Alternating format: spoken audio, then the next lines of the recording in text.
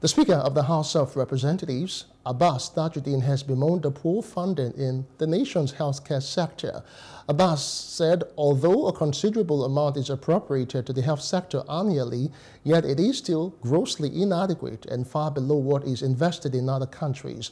The Speaker was represented by Honorable Obordor Mitema, a member representing Ogbia Federal Constituency of Bayelsa State, made this observation at a one-day public hearing organized by the House Committee on Healthcare Services at the National Assembly Complex, where four bills are expected to be debated on by stakeholders in the sector. Abbas said more still needs to be done if the life expectancy of the average Nigerian is to improve in order to reduce infant mortality.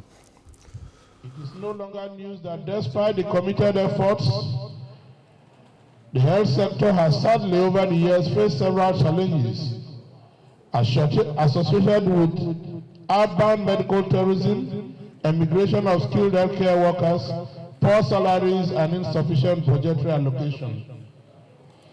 It is also sad to note that even though Nigeria has the highest gross domestic product GDP in Africa, the progress it has achieved in health has been rather slow and disappointing.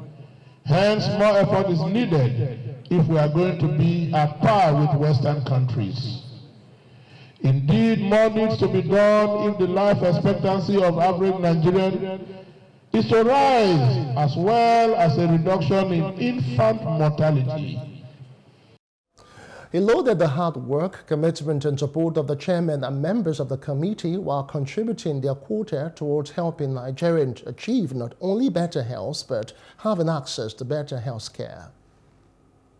The House Committee on Healthcare Services and other health-related committees of the House of Representatives and indeed the National Assembly are fully committed to doing their part by initiating and amending laws that will always be people-friendly with the aim of bringing succor and positive changes towards the health sector in Nigeria.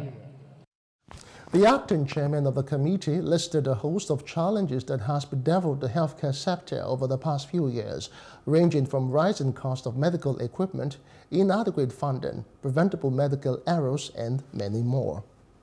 I wish to assure you all that as legislators and members of the Committee on Healthcare Services, we are conscious of our constitutional and legislative responsibility towards the people we are all we are at all times ready to partner with relevant stakeholders and support any genuine effort required to improve the healthcare system in Nigeria. On a final note, as we prepare to meticulously study and deal with this bill, I wish all of us successful and fruitful deliberations. Um, I think the only thing that will help us to have our demographic stratification of the citizens of Nigeria is to have a strong, all-inclusive, comprehensive national uh, social security register. It can only attain this level if it has a legislative backing and if it is allotted a responsibility that day to day. As it is now, as practitioners, sometimes we find it very difficult when we are confronted with situations of people who need, who dearly need uh, support through some of the social funding programs.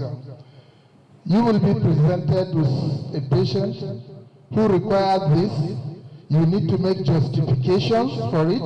You need to, and then despite that, by the time the help will come, will be too late.